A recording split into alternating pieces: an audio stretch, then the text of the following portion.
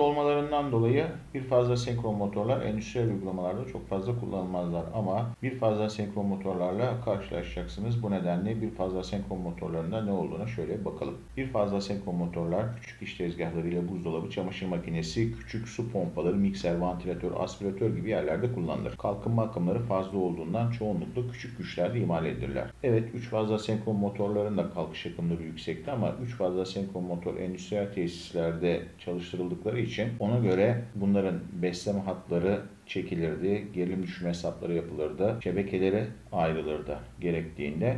Ama bir fazla senkron motorlar ofis ve ev ortamlarında çalıştırıldığından ve bir fazla şebekede çalıştırıldığından dolayı şebekede kalkış sırasında oluşturdukları gerilim düşümü nedeniyle daha önce de bahsettiğim gibi diğer cihazlarda istenmedik çalışmalara neden olabilirler. Bu nedenden dolayı çok büyük güçlerde bir fazla senkron motorlar imal edilmezler. 3 fazla senkron motorlarda faz sargılar aralarında 120 derecelik elektriki açı fark olacak şekilde stora yerleştirildiğinden döner manyetik alan meydana geliyordu. Fakat bir fazla senkron motorlarda yalnız bir sargı döner manyetik alan elde edilemez. Eğer bir motora siz tek sargı saracak olursanız bu bir döner manyetik alan oluşturmaz. N ve S kutupları karşılıklı olarak yer değiştirir. Şehir şebekemiz 50 Hz olduğu için saniyede 100 kere en S kutupları karşılıklı olarak yer değiştirir. Ama bu rotora bir yön vermez. Sadece karşılıklı olarak yer değiştirir. Rotorda evet gerilim indükler ama rotorun harekete geçebilmesi için rotora bir yön verilmesi lazım. Okuldaki uygulamalara geçtiğimizde bir fazla senkron motoru çalıştıralım. Sadece ana sargıyla çalıştıralım. Motor milenin dönmediğini göreceksiniz. Eğer o anda ben elimle rotoru sağa çevirecek olursam yani ilk yönü verecek olursam rotor sağa doğru dönmeye başlayacaktır. Yok eğer ben sola doğru çevirecek olursam sola doğru dönecektir. Kalkış momenti sağlamak ve rotora yön verebilmek için bir ikinci sargıya yani yardımcı sargıya ihtiyacımız vardır. Bu nedenle bir fazla motorlara ana sargının dışında bir de yardımcı sargı bulunur. Ana ve yardımcı sargılar birbirine paralel bağlanıp yerleştirilme sırasında 90 derecelik fiziki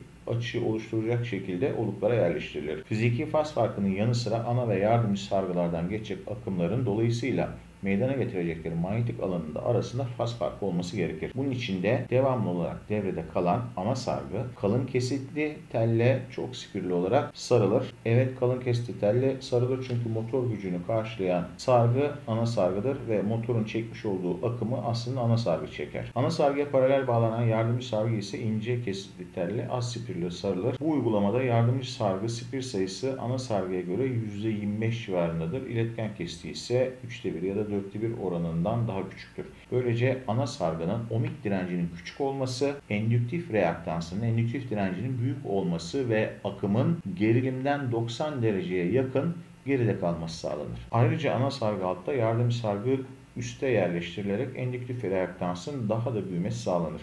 Yardım sargıdan geçen akımın gerilimden ileride olması için yardımcı sargıya seri olarak bir de kondansatör bağlanır. Böylece ana ve yardımcı sargı akımları arasında 90 derecelik faz farkı meydana gelir. Bu düzgün bir döner manyetik alan meydana gelmesini sağlar. Sinyap kafesi rotorun kısa devre edilmiş rotor çubukları stator manyetik alan tarafından kesilecek. Çubuklarda elektromotor kuvvet indüklenir. Rotor çubukları iki taraftan kısa devre edildiğinden içerisinde kısa devre akımları geçer ve rotorda bir manyetik alan oluşur. Stator döner manyetik alanı rotor manyetik alanını peşinden sürüklemesi sonucunda rotor döner. Zaten bu çalışma prensibini biliyoruz. Yine okula uygulamalara başladığımızda hatırlatın bir fazla senkron motorun ana sargı ve yardımcı sargıları üzerine çift kanal bir osiloskop bağlayalım. Ana ve yardımcı sargıları arasında faz farkını osiloskop üstünde de görelim. Burada bir şekil var. Buradaki şekilde U1, U2 benim ana sargım ve bu sargıdan geçen akımım IA. Burada Z1, Z2 benim yardımcı sargım. Buradan geçecek olan akım IY. CK kalkış kondansatörü veya başlatma kondansatörü, IH motorun şebekeden çekmiş olduğu akım, fi ana ve yardım sargı arasındaki faz fark. Ana sargının akımına bakacak olursanız U'yu, gerilimi referans kabul edelim. Ana sargının endüktif direnci yüksektir. Endüktif direnci yüksek olduğu için akım gerilimden daha geridedir. Aslında yardımcı sargı da indüktiftir ama ana sargıya göre daha az indüktif dirence sahiptir. Normalde yardım sargının fareyi şurada takip ederseniz sevinirim. Yardım sargının çekmiş olduğu akım da şuralarda yukarıda bir yerdedir. Bakın şurada. Eğer yardım sargının devresine ben kondansatör bağlayacak olursam kondansatörde neydi? İleri fazlıydı. Yani akım gerilimden ilerideydi. Yardım sargının omik direnci artı indüktif direnci kondansatörle birlikte seri bağlandığında kapasitif etki gösterecek. Yani akım gerilime göre bir miktar ileri fazla olacaktır. Yani yardım sargının şu koldan kondansatörle birlikte geçirmiş olduğu akım gerilimden ileri olacaktır. Ana sargının akımı geride ve yardım sargı ile ana sargı arasında yaklaşık 90 derecelik bir faz farkı oluşturulmaya çalışılır. Burada S olarak gördüğümüz merkez kaç anahtarı akım rölesi de olabilir veya başka bir yöntemle de yardım sargıyı devreden çıkartabiliriz biz. Burada S anahtarı yardım sargıyı motor yol almaya başladıktan sonra devreden çıkartmaya yarar. Parçalarına bakalım. Rotoru biliyorsunuz, statoru biliyorsunuz. Statorla rotor aynı yapıda. 3 fazla senkron motorlarda olduğu gibi. Yine pervane kapağı var. Yine pervane var. Kapaklar var. Rulman var. Burada normal 3 fazla senkron motora göre iki tane fark var. Bunlardan bir tanesi şu kapakta gördüğünüz merkez kaç anahtarı bu iki parçadan oluşuyor. Biraz sonra daha detaylı olarak resmini göreceksiniz. Bir diğeri de kondansatördür. Başlatma kondansatördür ya da kalıcı kondansatördür. Bunun detaylarını şimdi görelim. Bakın kondansatör buraya koymuş. Burada çift kondansatörlü bir motor var. Muhtemelen daimi kondansatörlü ve başlatma kondansatörlü bir motor. Burada da yine görüyorsunuz. Bunlardan bir tanesi daimi kondansatör, bir tanesi başlatma kondansatörü. Yardım sargıyı devreden çıkartma yöntemlerinden bir tanesi merkez kaç anahtarı ya da santrifüj anahtardır. Bu nasıl çalışır ona bakalım. Santrifüj merkez kaç anahtar? Motor harekete geçtikten sonra devrin %75'ine ulaşınca yardım sargıyı devreden çıkaran santrifüj anahtar motor içerisine yerleştirilir. İki kısımdan meydana gelen santrifüj anahtarın duran kısmı kapak içerisinde, hareketli kısmı ise rotor miline monte edilir. Duran kısmında bulunan iki kontak motor çalışmazken kapalı durumdadır ve yardımcı sargıyı devreye sokar. Motor devrinin yaklaşık %75'ine ulaştığında ise hareketli kısım merkez kaç kuvvetinin etkisiyle dışarı doğru çekilerek kontak üzerindeki baskısı kalkar ve kontaklar açılarak yardım sargıyı devreden çıkarır. Daha sonra motor devri %75'in altına düştüğünde yani motor durduğunda tekrar yay kuvvetinin etkisiyle santrifüj anahtar kapak üstündeki kontağa basarak kapanmasını sağlar. Şimdi şekle bakacak olursanız bu açıklayıcı bir şekil. Tam şeklini birazdan göreceksiniz. Burada bir ağırlığım var. Rotor harekete geçtiğinde bu ağırlıklar dışarı doğru açılacak. Burası rotor miline çakılı bağlı olan kısım. Rotor döndü. Merkez kaç kuvvetinin etkisi yay etkisini geçti. Yay etkisinden büyük oldu. Parçalar dışarı doğru hareket etti. Parçalar dışarı doğru hareket edince normalde bu motorun kapağı üzerindeki kontaklara sürtüyordur, basıyordur. Bastığı için kontak kapalıdır. Ama merkez kaç kuvvetinden dolayı parçalar dışarı doğru hareket ettiğinde bu baskı aparatını içeri doğru çeker. İçeri doğru çektiğinde motorun kapağındaki kontaklar açılarak yardım sargıyı devreden çıkarır. Bu bir görsel anlatmak için kullandığımız. Asıl şekli ise bu. Şurası 5 nolu olarak gösterilen kısım motor kapağındaki olan kısımdır. Motor kapağına monte edilmiş kısımdır. Diğer bir motor miline monte edilmiş saç kısımdır. Göbek sacıdır. Şu iki ise paletler ağırlıktır. Yani merkez kaç kuvvetiyle açılan ağırlıktır. Bu yaylar bu ağırlıkları birbirine doğru çeker. Ve şu 4 numara ise bu ağırlıkların etkisiyle etkisiyle 5 numaralı kapak üzerindeki kontaklara basan rotorun üstündeki parçadır. İtme bileziğidir. Motor dönmeye başladı motor dönmeye başlayınca bir numaraya takılı olan iki nolu parçalar dışarıya doğru savruldu ve yayı açtı. Yay etkisini geçer yay etkisini yenerek dışarı doğru açıldı. Dışarı doğru açılınca 4 numara motor duruyorken 5 numaranın bastığı için 5 numaradaki kontakları kapamıştı. Bu sefer 2 numaralı parçalar açıldığı için 4 numarada geri çekildi. Geri çekilince 5 numaralı parça üzerindeki bastığı kontakları serbest bıraktı. Serbest bırakınca kontaklar açılıp yardım sargıyı devreden çıkarttı. Şimdi mekanik yapı her zaman için arızaya davet çıkarır. Ama santrifüj anahtarla merkez kaç anahtarıyla evet yol veriyor muyuz? Yol veriyoruz. Böyle bir yapı var. Bununla ilgili bir hatırlatma yapayım. Merkez kaç anahtarının seçimi özellikle yayın ve 2 numaralı numaralı parçaların seçimi motor devriyle alakalı. Eğer 1000 devirlik bir motor kullanıyorsanız buradaki ağırlıklar ona göredir. 1500'lük ya da 750 devirlik bir motor kullanıyorsanız ona göredir. Eğer siz 1500 devir bölü dakikalık bir motora tutup 3000 devir bölü dakikada kullanılan merkez kaç anahtarını bağlayacak olursanız bu merkez kaç anahtarı açma yapmayacaktır. Merkez kaç anahtarını sipariş ederken ya da seçerken devir sayısına göre seçildiğini unutmayın. Akım rölesiyle de yardım sargıyı devreden çıkarırız. Ters duran kontaktöre benzetilebilir. Ana sargı devresine bağlanır ve kontaklarından yardım sargı akımı geçirilir. Motor devreye girdiğinde ana sargı yol alma akımı olarak fazla akım çekecek ve röleden de geçen bu akımın oluşturduğu manyetik alan etkisiyle röle nüveyi yukarı doğru çekerek kontakları kapatacak ve yardım sargının da devreye girmesi sağlanacaktır. Motor devre amma devrine yaklaştıkça ana sargı akımı normal değerine düşecektir ve akım rölesinin manyetik alanı nüveyi yukarıda tutmaya yetmeyecek ve nüve düşecek yardım sargıyı devre dışı bırakacaktır. Bir fazla motorlarda çoğunlukla santrifüj anahtar kullanılır fakat buzdolabı, ekovat motorları gibi motorların biline santrifüj anahtar bağlanamayacağından yerlerine akım rölesi kullanılır. Bunu bir inceleyelim. Bakın dikkat edecek olursanız burada ters duran bir kontaktör var. Burada bir nüve var kalın kesitli telden az spirli olarak sarılmış bir nüve ve bu röle bobin kısmı ana sargı devresine seri bağlanmış. Kontaklar ise kondansatörle birlikte yardımcı sargıya bağlanmış. İlk başlangıçta bu motor devreye girerken yardımcı sargı devrede değildi. Motor devreye girdi, 6 misli 8 misli fazla akım çekti. Çekmiş olduğu bu fazla akım buradaki nüvede oluşturduğu manyetik alan etkisiyle kontakları yukarı doğru yapıştırır. Kontaklar yukarı doğru yapışınca yardımcı sargı devreye girer. Örneğin 1 amperlik bir motorumuz olsun. Devreye girme sırasında 6 amper akım çekti. 6 amperi çekmesiyle birlikte kontakları yukarı doğru yapıştırdı ve yardım sargıyı devreye soktu. Daha sonra dönmeye başladı. Dönmeye başladıkça akım artık 6 amperden 1 ampere doğru düşmeye başladı. Örneğin akım değeri 2 amperlere geldiğinde artık burada oluşan manyetik alan paleti yukarıda tutamaz. Yukarıda tutamadığı için de palet aşağı düşer ve yardım sargı devre dışı kalır. Burada da yine dikkat edilmesi gereken şey bu rölenin ters bağlanmasıdır. Eğer bu röleyi siz yukarı doğru bağlayacak olursanız bu sefer palet aşağı doğru düşeceği için yardım sargı devrede kalacaktır. Devreden çıkmayacaktır. Bir diğer hususa bu akımın buradaki rölenin değeri motor akımına göre seçilmelidir. Örneğin 2 amper çeken bir motora siz 1 amperlik akım rölesi bağlayamazsınız. Farklı bir çalışma ortaya çıkar. Evlerinizdeki buzdolaplarda, derin dondurucularda işte ya da klimalarda bir fazla motoru devreye sokmak için kullanılan röle budur. Dediğimiz gibi bunu dik montajını yapmanız lazım. Doğru yönde montajını yapmanız lazım. Akım değerini düzgün seçmeniz lazım. Bir fazla senkron motorların devir yönü değiştirmek için ya ana sargı ya da yardımcı sargıdan geçen akımın yönü değiştirilmelidir. Bir fazla senkron motor bağlantı şekilleri. Burada isimler standarttır çocuklar. U1, U2 ana sargıdır. Z1, Z2 yardımcı sargıdır.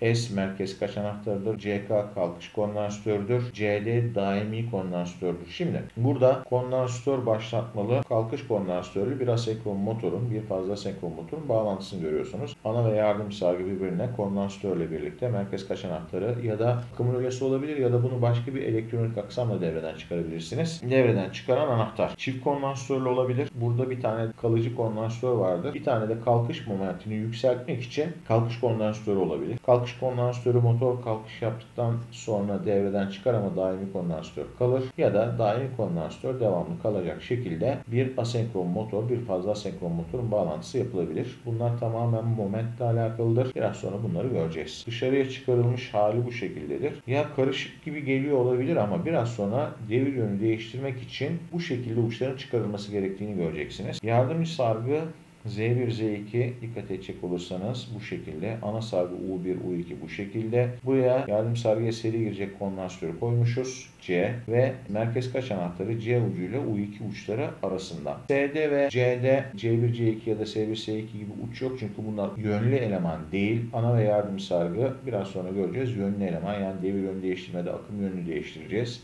O nedenle Z1, Z2 isimleri, U1, U2 isimleri verilir. Uçlar karıştırılmamak için. Sağa dönüşte Z1, U1 ve C, Z2 uçları köprülenir. Sola dönüşte ise Z1, C, U2, Z2 uçları köprülenir. Neden böyle bir şey yapılır? Önce sağ dönüşte akım yönlerine bakalım. Ne yapmışız? U1, Z1 köprülenmiş. Şimdi ana sargı ister sağa döndürün, ister sola döndürün. Dikkat edecek olursanız D1 ve L0 yani fazla nötr U1, U2 uçlarına veriliyor. Yani sağ dönüşte de U1, U2'de L1, L0 var. Sola dönüşte de U1, U2'de L1, L0 var. O zaman devir yönü değiştirmek için bilin ki burada yardım sargıdan geçen akım yönü değiştirilmiş. Ne yapılmış? U1 ile Z1 köprülenmiş. Bakın akım geldi diyelim. Alternatif akımda faz kavramı videoda bu akım geliyor mu gidiyor mu onu anlattım ama şimdi L1'den akım geldiğini pratik olarak açıklayabilmek için kabul edelim. Akım U1'e gelmiş. U1 U2 arasında geçmiş akım. U1'den Z1'e geçmiş. Z1'den dikkat edecek olursanız yardım sargıdan yukarıdan aşağı doğru bir akım geliyor. Z2'ye. Peki Z2 kimle köprülü? Karşısındaki C ile. Daha sonra akım Z2'den köprülü olan C'ye geçmiş. C'den çıkmış. Merkez kaç anahtarı üzerinden L0'a geldi. Dikkat edecek olursanız burada akım Z1'den Z2'ye doğru geçti. Akım Z1'den Z2'ye doğru geçti. Peki sola dönüşte nasıl oluyor? Sola dönüşte U1'den Z2'ye köprü almışız. U1'den akım gelmiş. Z2'ye köprü almışız. Dikkat edecek olursanız Z2'den Z1'e geçmiş akım. C'ye gelmiş. Karşıya köprülenmiş ve kondansatörden ve herkes kaç anahtarından geçtikten sonra L0 nötrü bulmuş. Sağ dönüşte yukarıdan Z1'den Z2'ye doğru akım geçmişti ama sola dönüşte Z2'den Z1'e doğru bir akım geçiyor. Bir fazla senkron motorların devir yönünü değiştirebilmeniz için ya ana ya yardımcı sargının akım yönünü değişmeniz lazım. Burada yardımcı sargının akım yönü değiştirilmiş. Bu şekilde devir yönü değişimi sağlanmış. Burada unutulmaması gereken bir şey var. Bir fazla senkron motorlarda siz devir yönü değiştirmek istiyorsanız motorun durmasını beklemek zorundasınız. Motor durmadığı takdirde devir yönü değişmez. Hareket ettiği yönde dönmeye devam eder. Daimi kondansatörlüdeki bağlantı bu. Bunların detaylarını anlatmayacağım. Bu şekiller dokümanlarınızda olacak. Oradan incelersiniz. Çift kondansatörle bağlantı bu. Sağ veya sola dönüş için. Şimdi az önce söylediğim gibi moment karakteristikleri fark ediyor bunlarda. Daimi kondansatörlü, başlatma kondansatörlü, kondansatörsüz motorlarda fark eden daha önce söylediğim gibi moment karakteristikleriydi. Endüstriyel motor olmadıkları için moment karakteristikleri üzerinde durmayacağım. Sadece bu bilgiyi dokümanlarınızda var. Bilin. Peki kondansatörün değeri ne olacak? Buna bir hesaplama mı yapacağız? Hayır. Bununla ilgili pratik bir cetvelim var. Bu cetveli internette de bulabilirsiniz. Dokümanınızda da olacak. Güce göre kullanmamız gereken kondansatörün aralığı bu tabloda var. Yani oradaki kalkış kondansatörünün değeri mikrofarad cinsinden ne olacak? Bu tabloya bakarak da seçebilirsiniz. Ha bu e, şart mı? Bu şart değil.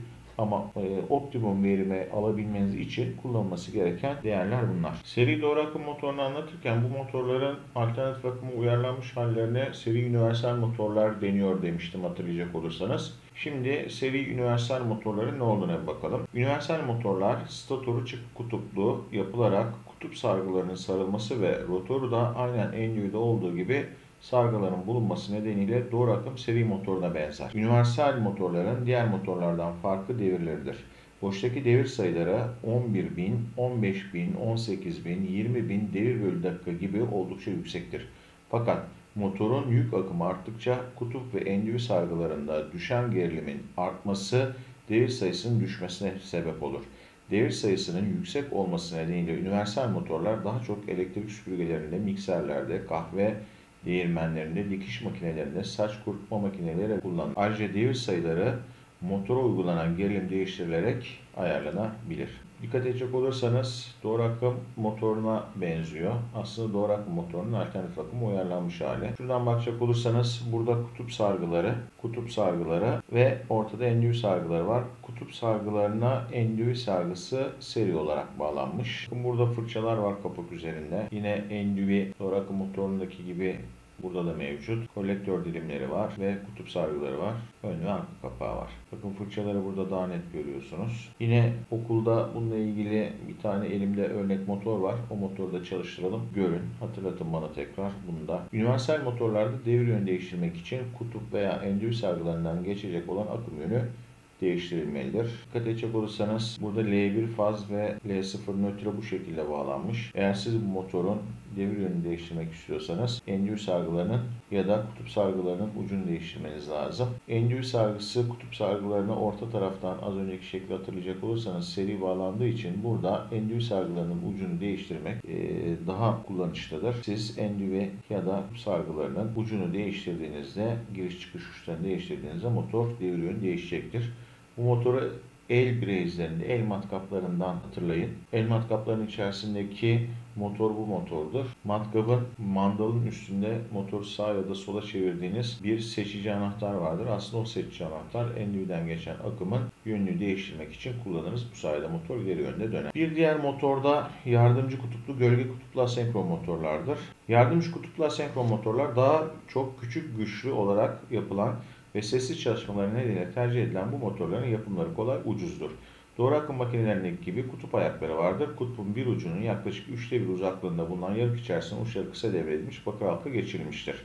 Bu bakır halkanın görevi ne? Bu bakır halkanın görevi şu. Ben daha önce size bir fazla senkron motorları anlatırken demiştim ki tek kutup, tek faz sargısı döner alan meydana getirmez. NS kutupları karşılıklı yön değiştirir ama yön değiştirmesi rotorun bir yönü hareketini sağlamaz. Buradaki bakır halkaların görevi bir kutup ayaklarının belli alanlarında manyetik alan zayıflaması neden olur. Bir diğeri de bu bakır halka yine ana manyetik alan içerisinde kaldığı için, kutuların manyetik alan içerisinde kaldığı için bu bakır halkada gerilim yüklenir ve kısa devre akımı dolaşır. Bu kısa devre akımı da normalde burada NS olurken yaklaşık bundan 90 derece elektriki açı farkıyla kendisi üzerinde bir NS oluşturur. Bu şekilde rotorun bir yöne dönmesi sağlanır. Yapı olarak bu şekilde. Burada kısa devre halkalarını görüyorsunuz. Çocuklar bunların momentleri çok düşüktür. Ve devir sayıları da çok yüksek değildir. Bu motor dönerken elle tuttuğunuzda durur bu motorlar. Bu motorun aynısından atölyemizde var. Onu çalıştıralım, görün. Üzerinde siz de elle tutun, dursun, bırakın dönmeye devam etsin. Görün yani motorun ne olduğunu. Peki motorlar nerede kullanılır? Bu motorlar basit aspiratörlerde ve vantilatörlerde kullanılırlar. Bu motorların en büyük özelliği sessiz çalışırlar. Yapımları kolaydır, basittir, maliyetleri azdır. Ama en büyük sıkıntıları bu motorların moment karakterisinin çok kötü olmasıdır. Fanlarda kullanılır. Nedeniyle şu yük altında bu motor kalkmaz. Fanlarda ise, pervanelerde ise Motor döndükçe hava sirkülasyonu yaptığı için motor döndükçe üzerine yük alır. O nedenle kalkış momenti çok yüksek değildir fan ve vantilatörlerin. Oralarda kullanılır. Asenkron motor etiketlerine gelince bu kısmı bu videoda anlatmayacağım. Yukarıya link açacağım. Asenkron motorların etiketlerinin okunmasıyla ilgili çok detaylı hazırladığım, daha önce hazırlamış olduğum bir video var. Linki tıklayarak o videoyu izleyin. Asenkron motorların kullanım alanları alternatif akım kolay elde edilmesi ve iletebilmesi, çok fazla mekanik aksam olmadığından yapısından dolayı arıza riskinin az olması, basit yapısından dolayı bakımlarının kolay olması nedenlerinden dolayı şu an endüstride kullanılan motorların hemen hemen hepsi asenkron motordur. Devir sayısının ayarlanamaması dezavantajı olsa da günümüzde yarı iletken teknolojisiyle yapılan frekans değiştiricileri, sürücüler bu sorunu çözmüştür.